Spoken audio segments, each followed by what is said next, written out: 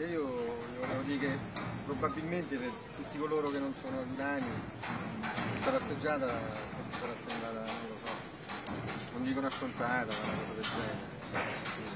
Siamo venuti a perdere tempo. Però io ci tenevo, insomma, a fare un giro per tutti voi, perché ci credete ma eh, tutti gli aquilani soffrono. Cioè, questa è una malattia che ci è venuta il 6 aprile del 2009 è una brutta malattia, che non è che passa così facilmente e non ci sta notte forse che ognuno di noi non ci ripensa. Abbiamo perso gli amici, abbiamo perso i parenti, abbiamo perso tante persone care. Quando io vi dico che se io sto a fare qualche cosa per l'Aquila, e parlo dell'Aquila Calcio, è perché dentro di me c'è talmente tanta voglia di, di, dare qualche cosa che si è perso, qualche cosa che non, non abbiamo più, e voi l'avete visto, no? voi venite da tante parti d'Italia e vi rendete conto che quello che è successo eh, in parte ormai la ricostruzione è partita, però ancora non abbiamo niente, non ce l'avremo per i prossimi anni.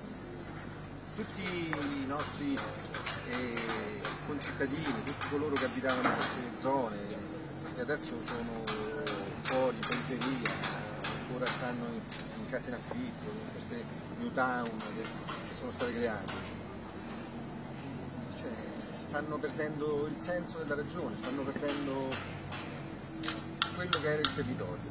Noi glielo volevamo restituire con la Calcio.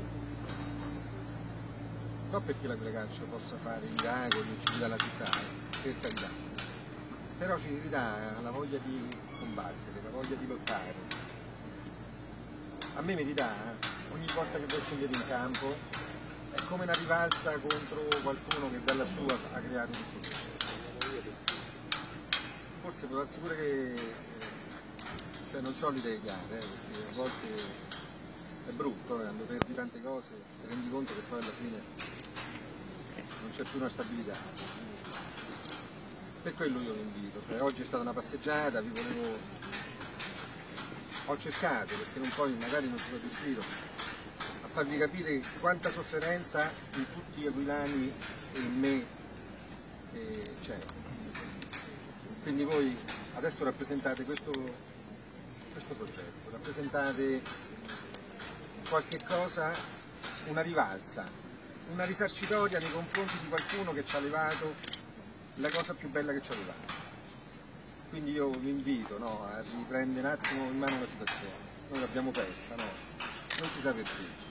Voi siete, noi siamo la squadra più forte del campionato, io di questo ne sono convinto. L'abbiamo dimostrato con le partite più importanti.